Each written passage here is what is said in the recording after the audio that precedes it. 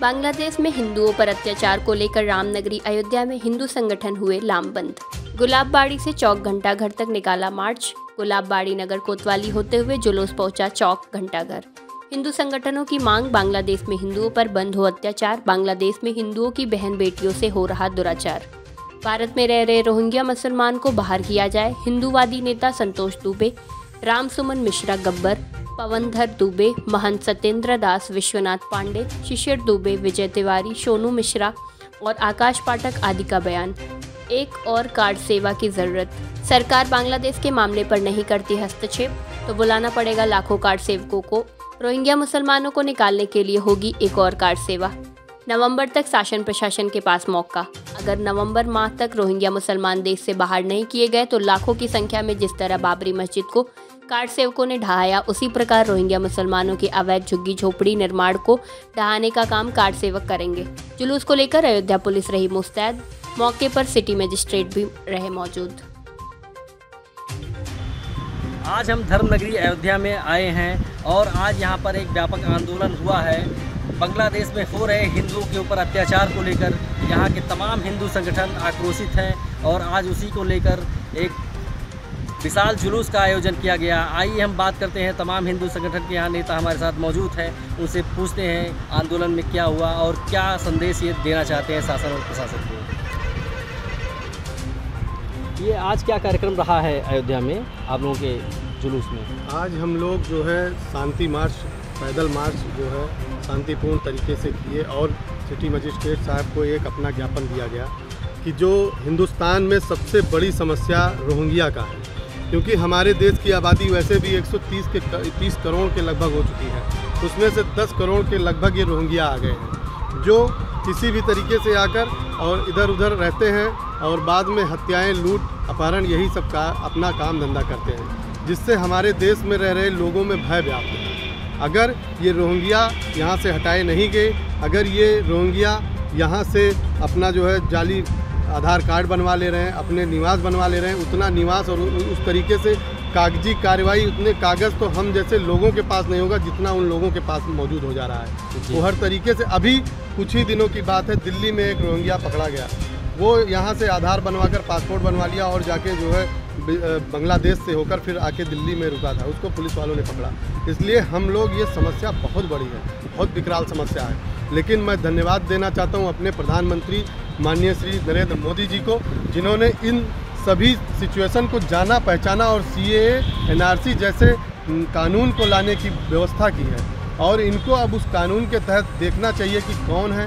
ये रोहिंग्या अगर हैं तो हमारे देश से इनको निकाला जाना चाहिए। क्योंकि ये आने वाले समय में बहुत बड़ी समस्या बन के उभरेंगे। हमें अपने देश के मुसलमानों से दिक्कत नहीं है। हमारे देश के मुसलमान जो देश प्रेमी हैं, वो सही हैं। लेकिन जो गद्दार हैं उनके साथ ये रोहिंग्या वाले मिलकर वही गद्दारी करते हैं और उसका ब्लेम उन बेचारों पे आता है, आता है। इसलिए मैं चाहता हूँ कि ये रोहिंग्या यहाँ से जाएँ। जी जी।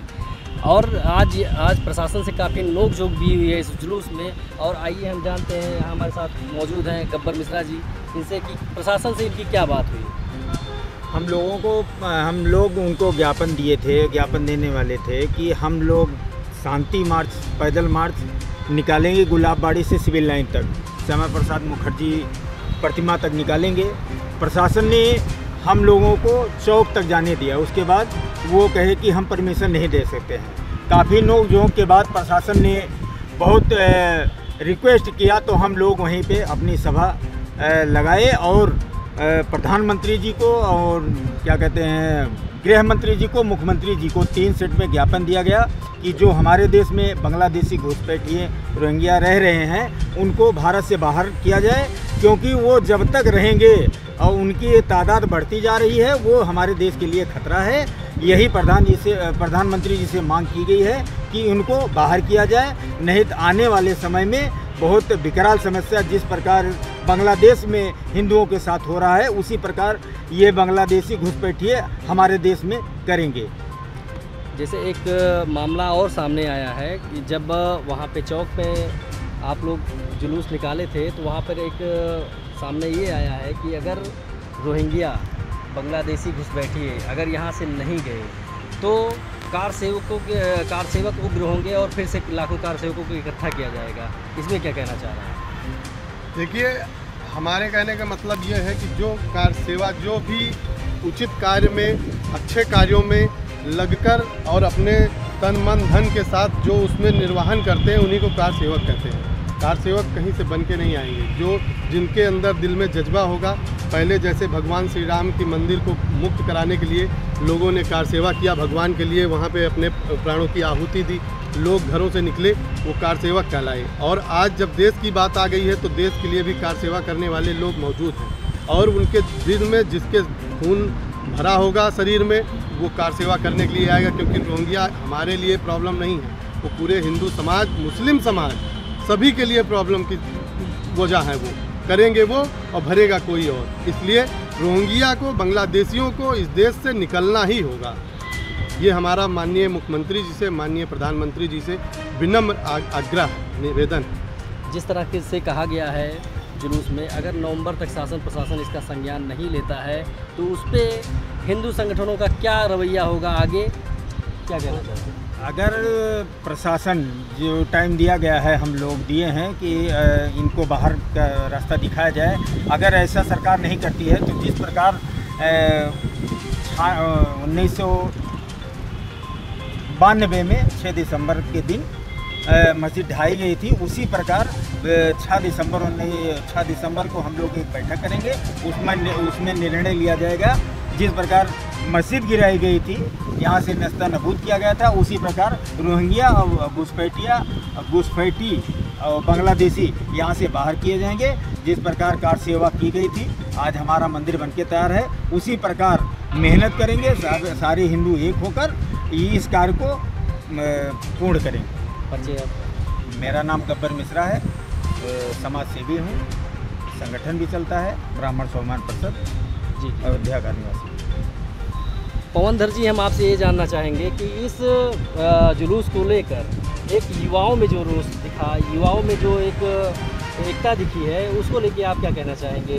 कम शब्दों में युवाओं में हमेशा से जो है देशभक्ति और देश के लिए हमेशा उसके पास ऊर्जा रहा है वो ऊर्जावान होता है इसलिए जो है उसने अपनी ऊर्जा का यहाँ पे नुमाइश किया और वो हमेशा देश के लिए धर्म के लिए आगे आएगा लड़ेगा। और इसी तरीके से जोश और एकता के साथ वो रोहिंग्या को भगाने में भी मदद करेगा। पहले प्रशासन से आग्रह है उसके बाद हम लोग जो है बाहर निकलेंगे रोहिंग्या को भगाने में। सरकार की मदद करेंगे। इस आंदोलन को लेकर आप एक अयोध्या वासियों को और देशवासियों को क्या संदेश देना चाहते हैं? मैं देशवासियों को और अपने ज़िले के लोगों को सिर्फ़ ये संदेश देना चाहता हूँ कि आपके आसपास कहीं भी पन्नी लगाकर और ऐसी झुग्गी झोपड़ियों में लोग आकर बस रहे हैं। तो आप उनसे ज़रूर पूछिए कि आप हैं कौन? आप कहाँ के हैं? आपके आपके आधार, आपके आइडेंटिटी, आप उनसे ज़रूर लीजिए। और अगर आप नहीं ले पा रहे हैं तो आप अपने बगल के थानों में पुलिस चौकियों पे सूचना दीजिए। और पुलिस को बताइए कि ये जानकारी इनसे लीजिए, क्योंकि अगर आप एक दिन ये सोच लिए कि ये काम किसी और का है और आप शांत बैठ गए तो झुग्गी झोपड़ी में रहने वाले ही हत्या करते हैं, लूटपाट करते हैं, जैसे बवरिया गिरोह और और कच्छा बनियान गिरोह। इतने गिरोह चले और लोगों की हत्याएँ हुई, कोई पकड़ा नहीं जाता था। इसलिए ऐसे लोगों को पकड़ा जाना बहुत ज़रूरी है। मैं यही संदेश दूँगा कि जहाँ भी मिले झुग्गी झोपड़ी में नई